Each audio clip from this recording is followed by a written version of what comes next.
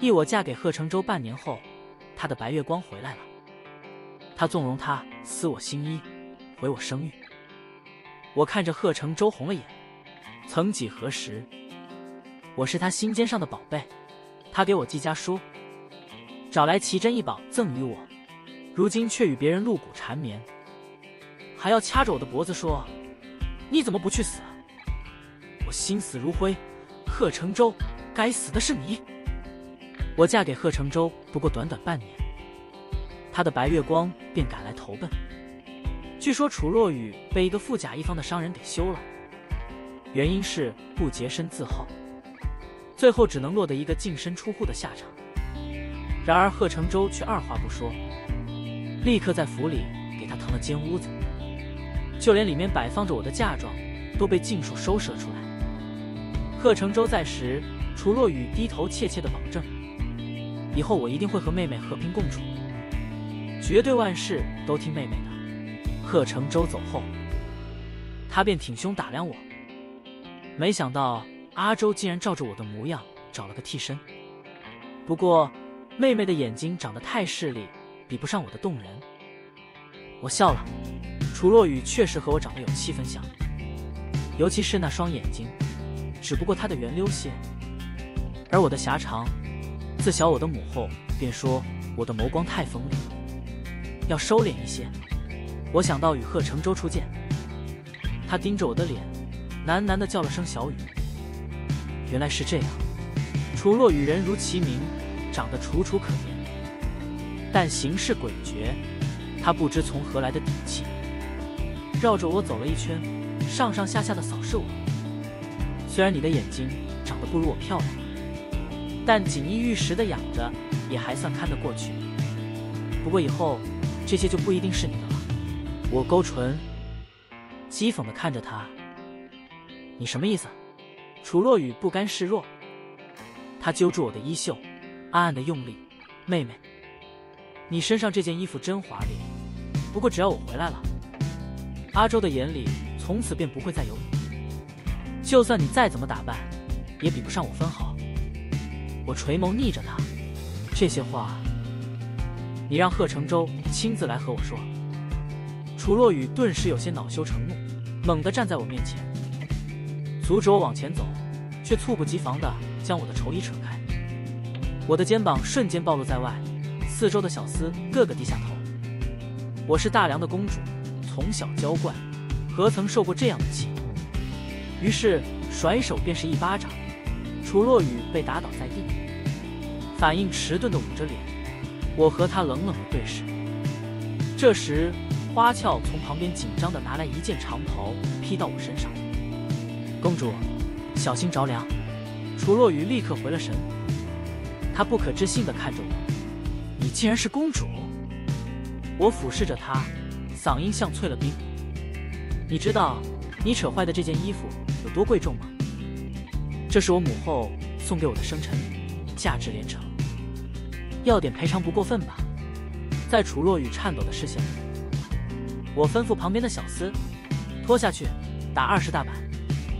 楚若雨一听，猛地抓住我的裙摆，声音慌乱的说：“你要是敢打我，等阿周回来，一定会跟你算账的。你不能打我！”我冷眼旁观。那是我与贺成舟之间的事，不劳你费心。二夜幕低垂时，贺成舟回来了，他大步流星的走进我的屋子，我正好做完了一款焚香，于是便献宝似的捧给他看。夫君，你看，这是我今天新调出来的香，你不是最近头疼，晚上点了这个就能睡好觉了。却没想到贺成舟只皱着眉头扫了一眼。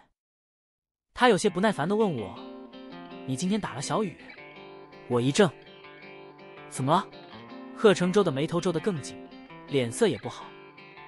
他千辛万苦赶路来找我，你不仅不让他好好休息，反而为了一件俗不可耐的衣服就打他，你让我的面子往哪里放？香灰倏地从我手里落下，我后退一步，有些不可理喻的看着眼前的男人，贺成舟。你就是这样看待我母后送来的生辰礼？那件衣服耗时多久？用料有多精细，你难道不知道？全天下仅此一件的宝贝，楚落雨撕毁了，难道不该受罚？贺成舟不认同的看着我，温莲，你怎么变得这么咄咄逼人？不过是一件衣服而已，你想要，我再让人给你做就好了。我咄咄逼人，那你现在是不是太胳膊肘朝外拐了？贺成舟想也不想的开口，小雨不是外人。我愣了，你什么意思啊？贺成舟有些不自在的移开视线。我打算让小雨在府里住下，一直，一直。我感到荒唐的笑了。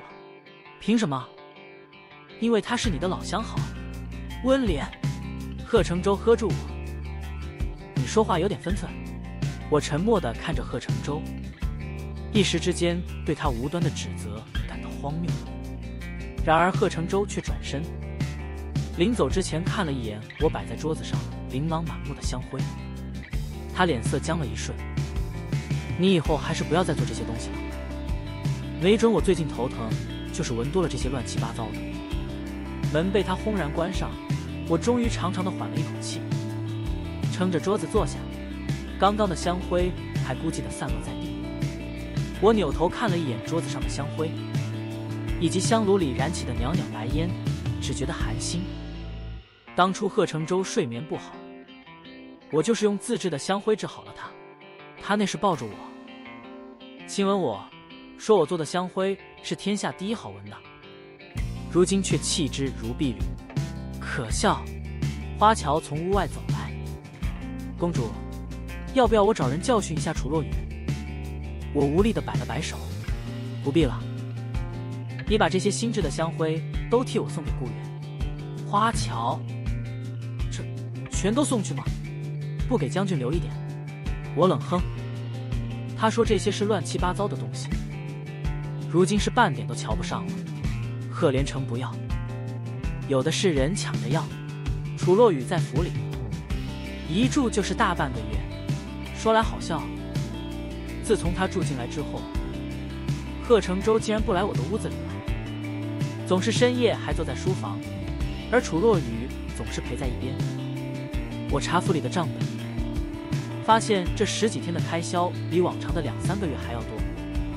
再仔细一翻，贺成舟竟然从外面给楚若雨买了不少胭脂水粉，还有金玉首饰。往常他从未给我买的这么细致。我一页一页的翻看着，总觉得好像是在看贺成舟那颗已经偏移的心。三，因为这账本的开销，我决定去问一问贺成舟。结果还没进书房，就听到了楚若雨的笑声，清脆的从里面传来。聊什么呢？这么开心？我平心静气的出现。楚若雨的笑声戛然而止，贺成舟嘴角依然扬着，说话带笑。你怎么来了？有什么事吗？我暗暗的咬牙，还是扯出一个笑脸。今天看了一下府里的账本，你最近的开销是不是有点太多了？有些无关紧要的东西，还是不要买了吧。楚若雨脸上的血色顿时褪尽，低着头。阿周，都说了让你不要给我买那么多首饰，你偏要买。贺成舟也是一怔，嘴角的笑意终于压了下去。他不悦的扫了我一眼。本来我这几天也准备找个机会和你说一下这件事，既然你正好来了，那你就把账本交给小雨来管理吧。以后这些事也不用你费心了。什么？我有些恍惚的看着他。贺成舟不耐烦的随口解释：“小雨学过珠算，以前也替我管过账，在这方面做的比你好些。更何况，你堂堂一个公主，不是不习惯处理这些鸡毛蒜皮的小事儿吗？以后都交给小雨就行了。”贺成舟说的太理所当然。让我一时竟然忘了反驳，视线下移，我的目光突然落在他腰间的一个鸳鸯荷包上。那不是我送的，恰逢此时，楚若雨向我看来，他背对着贺成舟，对我露出了一个得逞且不屑的目光，就仿佛在说：“看吧，你不过是个替身而已。”我走进了贺成舟两步，伸手扯下了那个荷包。这个是哪来的？我光明正大的问他。贺成舟的脸色终于有些不对劲，他想要拿回去，我却猛地扔到地上，拿脚狠狠的踩住。贺成舟当即变了脸，呵斥我：“温莲！”我抬头，贺成舟，你是我的夫君，怎么能挂别人送的鸳鸯荷包？你别告诉我，你不知道这是什么意思？还是说你不想过下去了？贺成舟终于无话可说，只是你没看着我。我冷冷的扫过楚落雨，还有账本的事，就算不是我管，也轮不到他。这是我们将军府的私事，他凭什么插手？我就算交给花俏，也不会拱手让人。楚若雨的眸子颤了颤，又装出一副楚楚可怜的样子，看着就叫人烦躁。自从账本一事过去之后，楚若雨终于收敛了些，贺成舟也开始回房睡觉。可每当他靠我近一些，我都有些恶心反胃，恨不能把他一脚踹到床底。没想到有一天他回府，脸色黑得像炭。贺成舟疾步走向我，质问：“温莲，你那日做的香灰在哪里？给我看看。”我面不改色，扔了一些，还有的送人吧。贺成舟突然面露愠色：“你是不是送给顾月了？”我今日上朝，在他身上闻到了熟悉的香味。我漫不经心地摆弄着茶具。你管我送给谁了呢？贺成舟却猛地攥住我的手腕。你明明知道那个姓顾的对你居心叵测，你竟然还上赶着给他送东西，你就这么耐不住寂寞？似我狠狠地甩开他的手。贺成舟，你能不能别用你那颗小人之心来恶意揣测我们？更何况，在你指责我之前，能不能先看看自己的所作所为？难道楚若雨对你就没有居心叵测了吗？你不是照样给了他回应？既然你可以，我为什么不行？贺成洲气得涨红了脸。我和小雨只是很单纯的关系。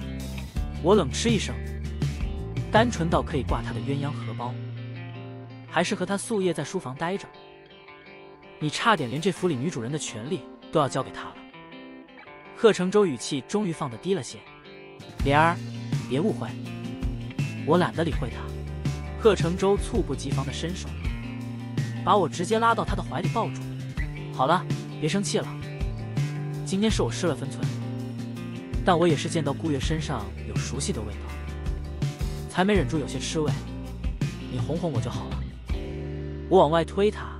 却比不过他的力气，贺成舟，你别耍无赖行吗？结果下一秒，他的吻落到我的唇边，堵住了我的话。我恼怒的挣扎，一口咬上他，直到唇齿间漫开铁锈味。贺成洲捂着嘴退开了些。你是小狗吗？怎么咬人？我还有些生气。那你怎么没有经过我的允许就亲我？贺成洲近似无赖的。把我揽进怀里，凑在我耳边说：“我亲自己的娘子，难不成还犯法了？”我闷闷的哼了声。贺成洲的吻细细密密的追上来，他有些动情的说：“宝贝，好多天没亲热了，你亲亲我。”我顿时有些羞赧，笑骂他：“贺成舟，你是流氓吗？这大白天的干什么呢？”他打横抱起我，就要往床上走去。结果这时门外却出现了一个不合时宜的身影。楚若雨站在门边，有些尴尬的看着我。我是不是出现的不是时候？贺成舟立刻把我放下来，然后理了理衣服，抬眼看向楚若雨，换了更温柔的语气：“小雨，你有什么事儿？现在说。”楚落雨犹豫了一下，绞着手帕，咬唇说：“阿成。”你那日送给我的金镶玉被我不小心打碎了，我贺成舟舒尔笑了，没事儿，你要是喜欢，改天我再送你一个。楚落雨怯怯的看了我一眼，这不太好吧？孰料贺成舟却一把揽我入怀，放心，莲儿不会计较这些的。他话音刚落，楚若雨眼神突然变得犀利很多，他收回目光时，视线却不经意地落在了我的手腕上。下一秒，我不出所料地听见他说：“哇，妹妹手上的玉镯好漂亮，阿成，我不要金镶玉了，可以要一个和妹妹手上一样的玉镯吗？”顿时，一世沉寂。我手腕上的这个玉镯，是成亲时贺母给我的。他说，当年自己就是带着这个镯子怀上了贺成舟，所以希望我们也能早生贵子。听到楚落雨这么说，我第一时间去看贺成舟的反应，然而他却避开了我的视线，只犹豫了一秒，便对我说：“温莲，你把这个送给小雨吧，我再送你个更好的。”在他的三言两语里，我顿时觉得自己的心结了冰。贺成舟，你忘了你娘把这个镯子给我时说了什么？她说这个镯子只能传给贺家的儿媳，竟然让我给她。武贺成舟抿唇，不过是一个镯子而已，别看得那么重。他见我不动，抬手就要来夺，我猝然后退一步。然后迅速吞下玉镯，扬手狠狠地扔在了地上。一阵清脆的响声炸开。你满意了吗？我冷冷地盯着贺成舟。如果这个镯子真的像你娘说的那么灵，那贺成舟，我祝你断子绝孙，永无后代。贺成舟白了脸。楚若雨看好戏一般的站在一边，全然没有了先前那副梨花带雨的样子，反而有些趾高气昂。我嗤笑一声：“你可真贱啊！别人的东西，你什么都想要，是不是狗拉的屎都要凑上去闻闻？”楚若雨睁大了眼睛，有些慌乱的看着我：“你怎么能这么说？那不然怎么说？你还指望我对你温言细语？”从楚若雨旁边擦肩而过时，我勾唇凑近她，奉劝你别越雷池，否则你不会有好日子过的。楚若雨顿时噤若寒蝉。就在我以为经过这件事情之后，楚若雨一定会安分，他却杀了我一个回马枪。他竟然敢在我的羹汤里下药！我迷迷糊糊间，浑身都使不上力气，刚想要叫花俏过来扶我去床上休息，窗户便被人掀开，紧跟着窜进来三四个壮汉。我隐隐约约的听见了楚落雨的声音：“该怎么做？”你们心里清楚，只要人不死，这一夜随便你们折腾。我的意识就快要模糊不清，听见这些，立刻咬着自己的舌头保持清醒。花，花俏，我拼命的想要喊出声，结果开口却又哑又磕巴，没有叫来花乔，反而那些壮汉齐刷刷的涌向我，用手捂住我的嘴巴，还有些令人作呕的触感。落在我身上，那一刻，我死死的咬住舌头，恨不能就这样死了算了，免得受这样的屈辱。就在我陷入无限的绝望时，门被人轰然推开，顾月气喘吁吁的出现在门口。他一看见有许多男人围着我，立刻红了眼，然后发怒发狂的扑过来踢打他们。我哭得泪流满面，痛不欲生。花俏也踉跄的跑进来，她的发髻衣物全都凌乱不堪，可以想见他遭遇了什么事情。我们主仆二人哭花了眼，顾月才终于叫来了人。我躺在床上，哭得眼睛都疼。顾月告诉我，我刚刚看了，贺成舟今天不在家，估计他们就是摸准了这个机会才下手的。我擦了擦眼泪，有些哽咽的对顾月说：“还好你过来了。”不然，顾月摇了摇头。室友别说了，不管怎么样，我赶到了，以后一定要小心。我苦涩的点头。正是因为贺成舟不在家，所以楚若雨才敢无法无天的做出这种事情。我气得心肝都发颤，衍生出无边的恨意。顾月，你帮帮我，我和他自小相识。这是我第一次在他面前低头。顾月的目光爱怜。他说：“温莲，你曾经是那么骄傲漂亮的公主，不要为了这个笼子而损耗了你五彩斑斓的羽毛。他还说：“放心，我会让他们付出代价的。”有了顾月这句话，我才终于安心，在疲惫和昏沉中睡去。六再醒来，是被一阵炸了锅的喧哗吵醒。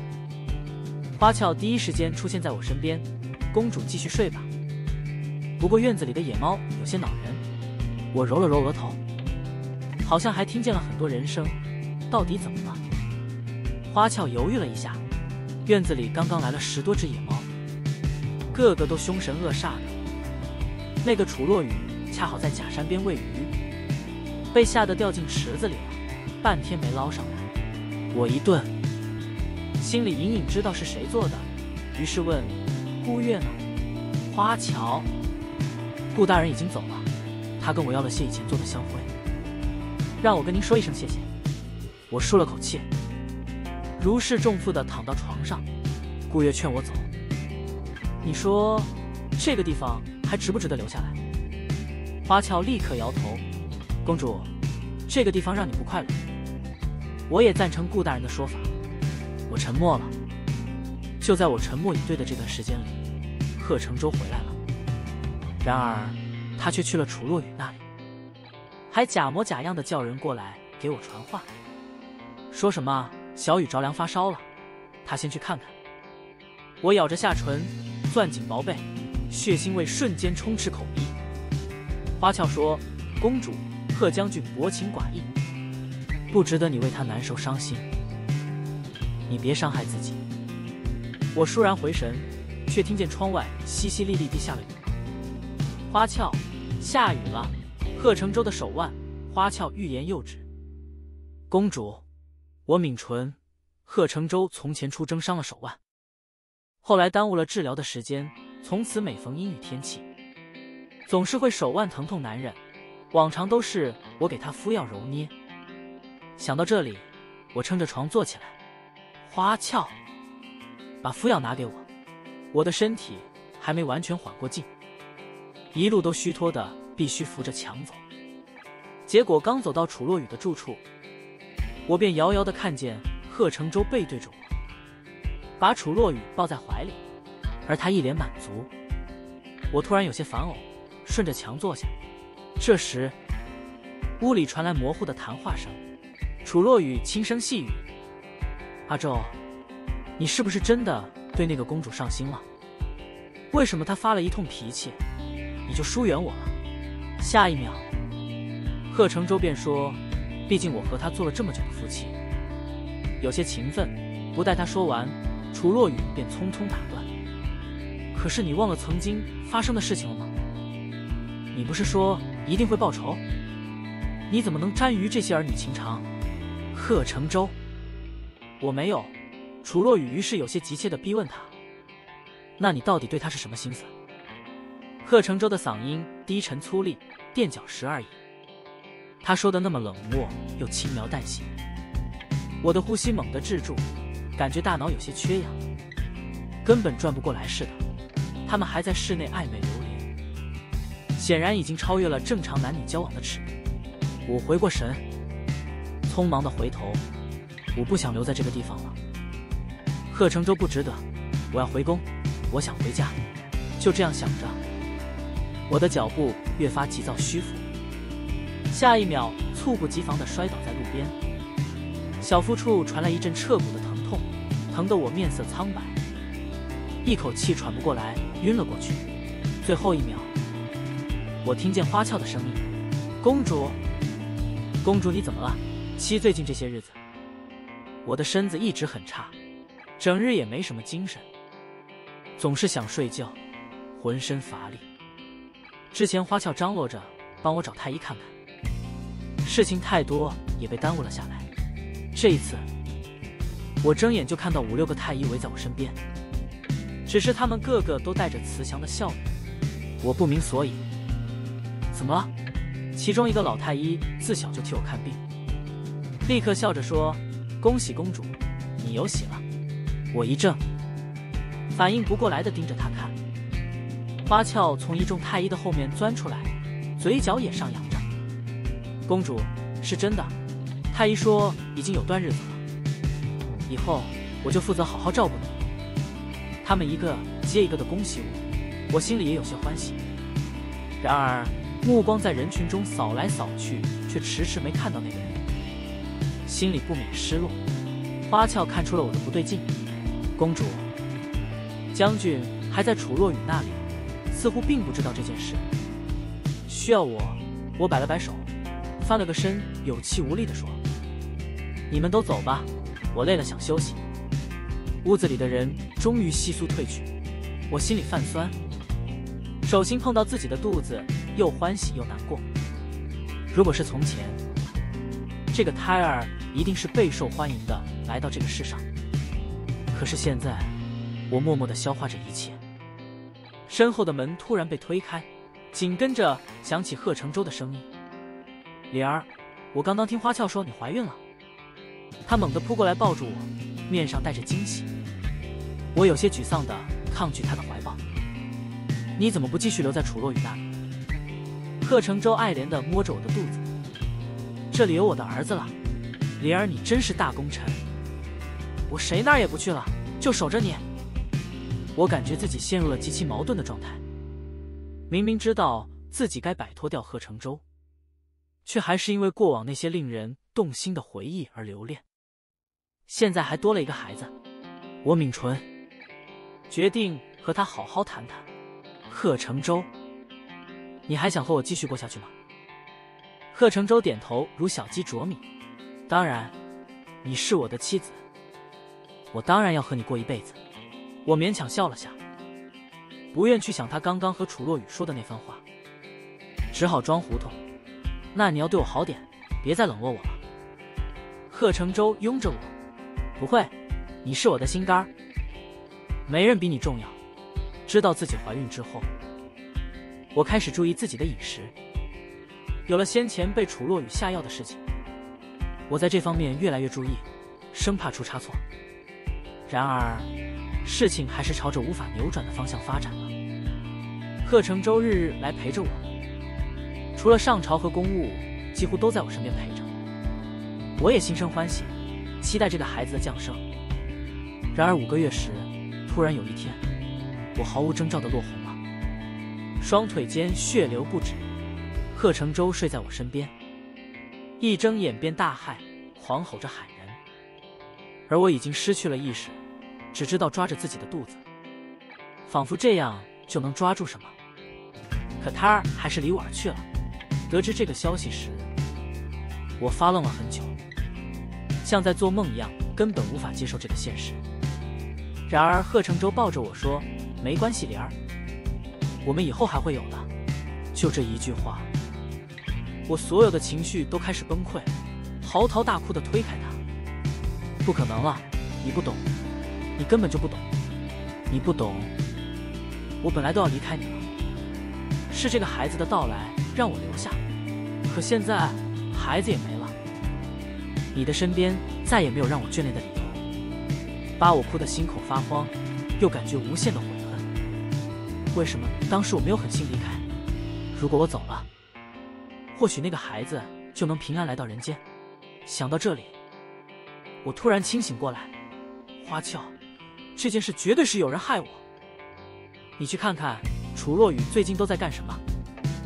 花俏点头就要退下，却被贺成舟呵斥：“站住！你们怎么能怀疑到小雨头上？他这段时间一直在屋子里待着，说怕惊动你的胎气，连门都没出。我看着他，心凉了半截。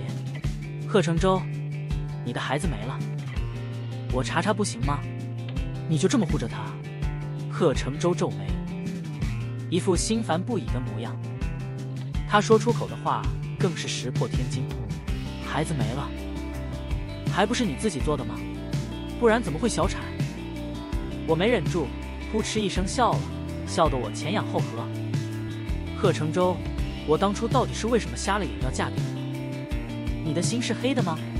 怎么能说出这么残忍的话？贺成舟盯着我。头间溢出一声冷哼：“你若是能少猜忌小雨几分，或许我还能对你好些。原来，你对我的态度还要取决于我对旁人是什么样。难道我真的就是那个小雨的替身？贺成舟顿时哑口无言，他几乎落荒而逃的转身要走，我却突然注意到了他腰间的那个香囊。等等！我慌乱无章，赤脚从床上下来，一把攥住了那个香囊，然后急切的凑到鼻尖。我深吸一口气，泪水猛地喷涌而出。这是从哪来的？我瞪着眼睛，厉声质问贺成舟。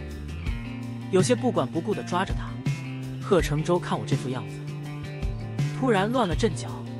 怎么了？这是小雨送给我的，说是能助眠。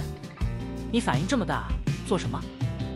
我猛地松开他，泄了全身的力气，躺在地上，然后气急攻心的笑了。贺成舟啊，贺成舟，你可知道这香囊里有什么？我双手垂地，悲愤欲绝的开口。这是麝香，大剂量的麝香。你日日带着这使人活血通经的东西，我怎么可能不小产？楚落雨害死了我的胎儿，你竟然还要护着他！我气得又哭又笑。突然间，喉头涌来血腥味，我猛地吐出了一口血。见我这样，贺成舟慌了，他急切地把我从地上抱起来。莲儿，你别激动，现在把身子养好了才是最重要的。我无波无澜，心死如灰的把他往外推，抗拒他的靠近，感到恶心悲哀。你走吧，我不想看见你。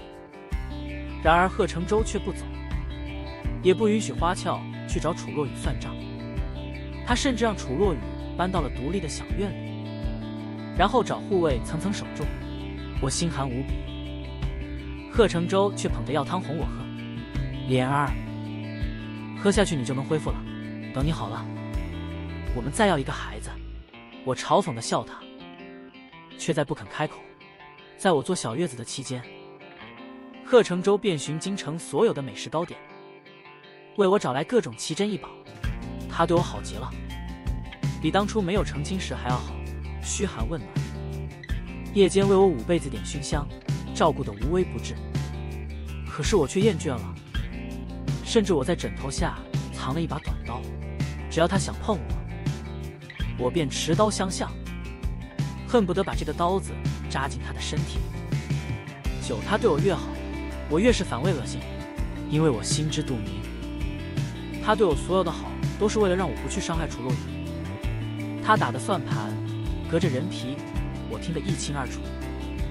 可是我没想到的是，楚洛雨自己找上门来了。他趁着贺成舟去上朝，堵在我的门口。哟，这还是那个高高在上的人公主吗？你以前不是很神气，现在怎么虚弱成这样？好像下一秒就要咽气了。我死死的盯着他。楚落雨，你会付出代价的。楚落雨抱着胳膊，居高临下的哼笑。别异想天开了，说狠话谁不会？你还是得跟我学。一声不吭就把你孩子弄没了，我霎时红了眼，猛地攥住他的头发，死命的扯，你不得好死！楚落雨身后跟着的护卫立刻上前把我们拉开，他笑得诡异，漫不经心的抚弄自己的头发，只怕在我下地狱之前，就已经是万人之上的富贵命了。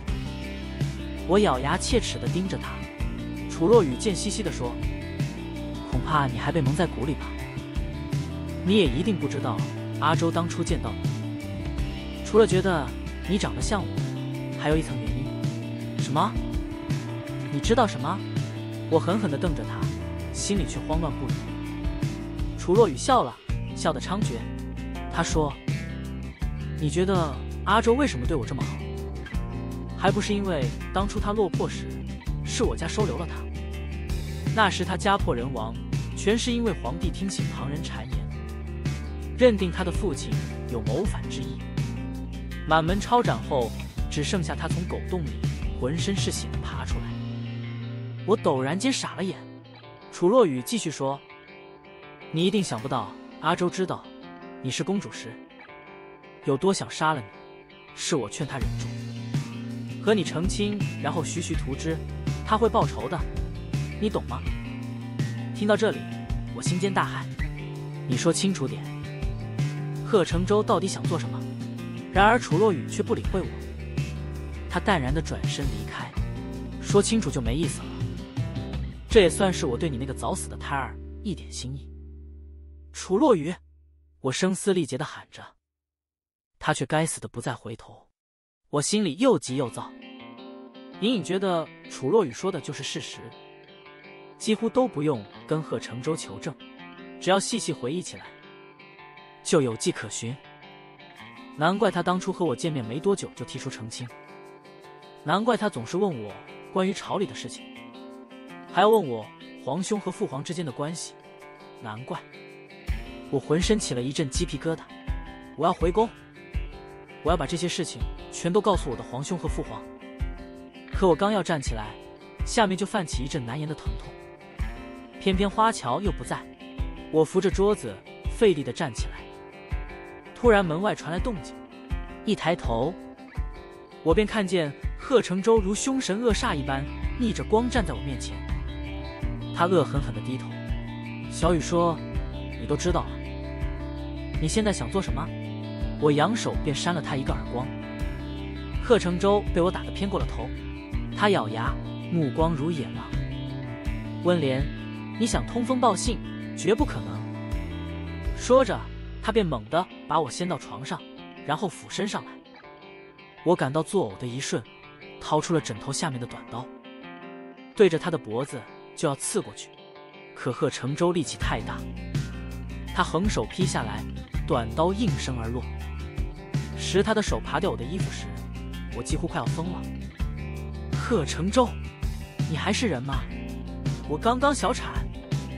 然而他不管不顾，像一头野兽一般暴力的贯穿我，撕裂感从下体传来，我痛得几乎要昏过去。我好恨，恨不能把贺成舟拆吞入腹。那日，我不知道他做了多久，但他一直喘着粗气，在我耳边说：“再给我生个孩子，再给我一个孩子，这是你欠我的。”我咬着唇，一边装晕，一边忍受着他的撞击。天黑下来后，他终于抽身离去，却不忘记把我的手脚都拴在床上。